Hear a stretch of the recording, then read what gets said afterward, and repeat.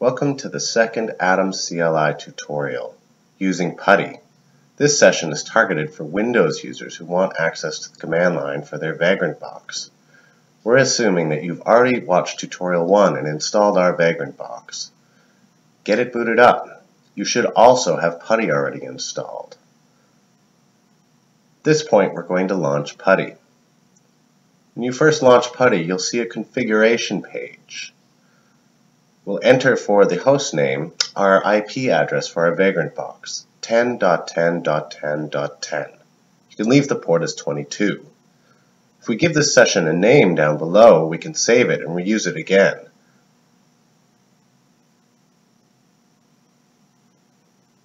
Before we proceed, we'll want to make sure that we have all the settings correctly configured. In the sidebar,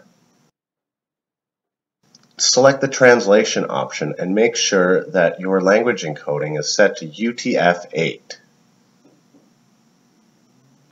Once we've selected this, click on the Session tab again and be sure to click Save so your options are saved.